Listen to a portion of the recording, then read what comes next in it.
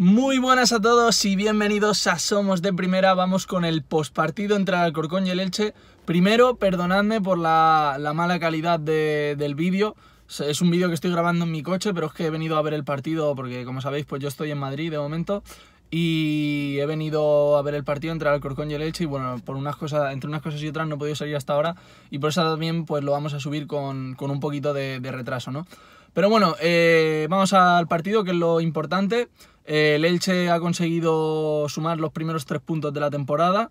Eh, la verdad que el Alcorcón jugó un buen partido la primera jornada y el Elche muy malo, o sea que jugando en Santo Domingo, sí que es cierto que la segunda división siempre es impredecible, ¿no? Se dice siempre, pero, pero era un partido que a priori la gente hubiese dado por favorito posiblemente al Alcorcón, ¿no?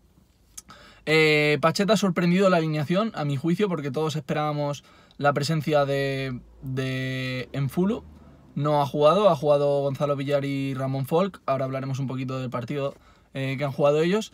Y sobre todo me ha sorprendido mucho que el hecho de que jugara Oscar en el, en el lateral derecho y también la suplencia de Nino. Quizás eh, yo hubiese apostado por Nino en la media punta y Yassin Casmi arriba, que Yassin Casmi ha vuelto, ha jugado eh, como titular, al igual que Fidel, y el que ha sido suplente eh, ha sido Nino, jugando con Peremilla en la media punta.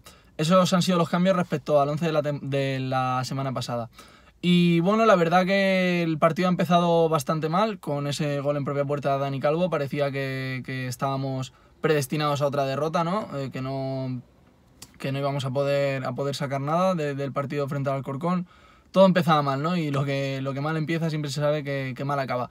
Pero bueno, sufriendo, eh, el Elche ha llegado a la primera parte al descanso perdiendo 1-0 y en el segundo tiempo, eh, nada, más empezar la, nada más empezar el partido, eh, Gonzalo Verdú ha marcado ese, ese golazo de falta que para mí desde luego se está erigiendo como uno de los de los mejores lanzadores de faltas en los últimos años.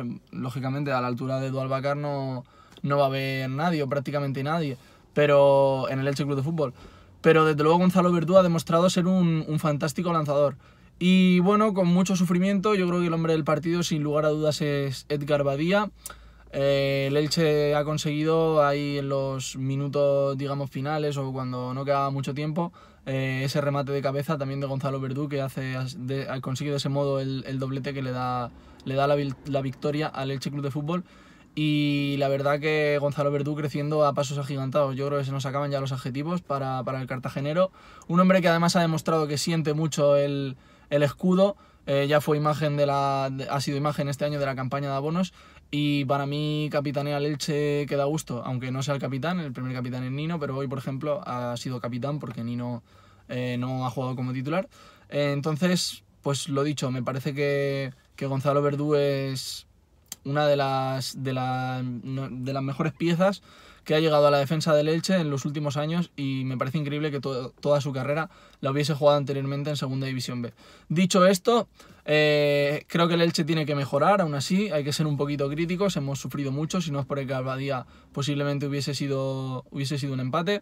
Hay mucha gente en Alcorcón también que se, queja de, se ha quejado del árbitro, de, del arbitraje, pero yo pienso que, que, bueno, tampoco, tampoco ha sido un escándalo, que ha podido tener algún fallito que otro, pero bueno, este año hay VAR, no, no ha lugar a quejas, o en principio se supone que no, no tiene que haber lugar a, a muchas quejas con, con el videoarbitraje, pero bueno, ya se sabe que el fútbol es, es como la política en este país. Eh, y bueno, lo dicho, el Elche tiene que mejorar un poquito más, tiene que encontrar los, las formas de no sufrir tanto. Vamos a ver los próximos partidos, ahora en casa. Va, se me va la cámara, perdón.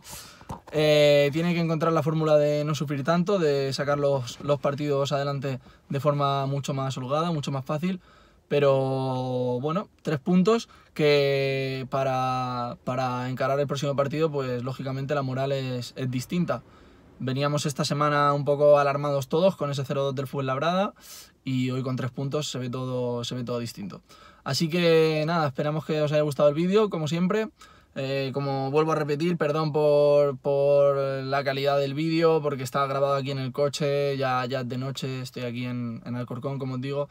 Y, y también por la tardanza, porque al final, pues entre Dani, como sabéis, está trabajando y, y yo, pues no, no he podido hasta ahora.